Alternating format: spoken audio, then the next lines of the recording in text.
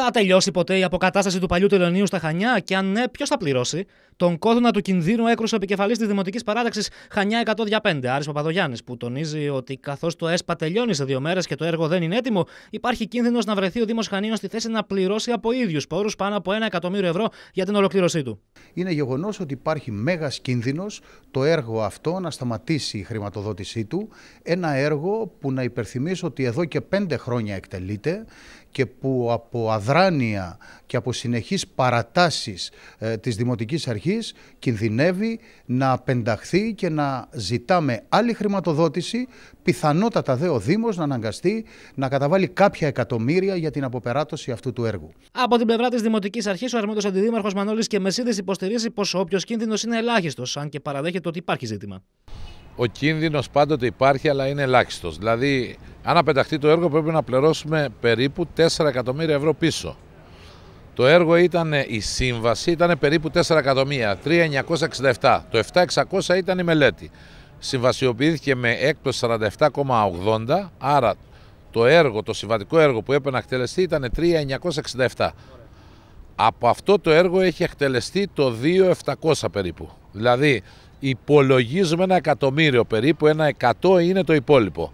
Ήταν ευθύνη του εργολάβου, ο οποίος δεν το τέλειωσε λόγω capital controls μπλόκαρε. Ο Δήμος θα προσπαθήσει να εντάξει το έργο σε άλλο πρόγραμμα ή στο πρόγραμμα δημοσίων επενδύσεων. Η Δημοτική Αντιπολίτευση λέει πως το πρόγραμμα δημοσίων επενδύσεων αυτή τη στιγμή είναι σχεδόν νεκρό. Αυτή τη στιγμή έχουμε κάνει μια έτσι, θα πάρει μια εξάμενη παράταση ο εργολάβο.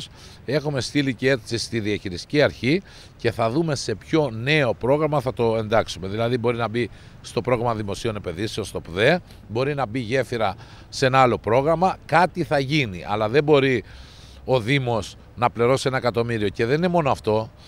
Εάν δεν τελειώσει το έργο μετά από τρία χρόνια, το έργο πρέπει να γυρίσουμε όλα τα αυτά πίσω. Δεν γίνονται αυτά τα πράγματα. Θα βρεθεί ο τρόπος Όλοι γνωρίζουμε τις δύσκολες οικονομικές, να το πούμε έτσι, καταστάσεις που αντιμετωπίζει η χώρα μας.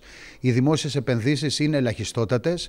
Τι δημόσια επένδυση θα εντάξουμε, την, ε, την αγορά, το παλιό τελωνίο, διάφορα άλλα έργα.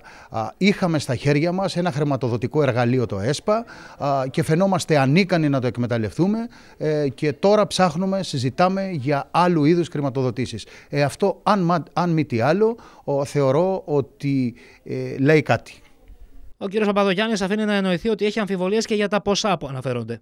Η Δημοτική Αρχή επιμένει ότι δεν θα χρειαστεί να πληρωθεί τίποτα. Ο λογισμός του ήταν περίπου στα 5 εκατομμύρια και με τις διαβεβαιώσεις του Δημάρχου, γιατί κανείς δεν μπορεί να ξέρει ακριβώς, είναι περίπου στο 1 εκατομμύριο. Επιτρέψτε μου βεβαίως να θεωρώ ότι το θέμα της ε, χρηματοδότησης πρέπει να είναι ακόμα μεγαλύτερο, να ξεπερνάει το 1,5 εκατομμύριο με 2 εκατομμύρια ευρώ. Πιστεύω ότι το έργο δεν θα πληρώσει κανείς τίποτα και το, το έργο θα τελειώσει. Το καινούριο χρόνο, το 2016, θα είναι τελειωμένο.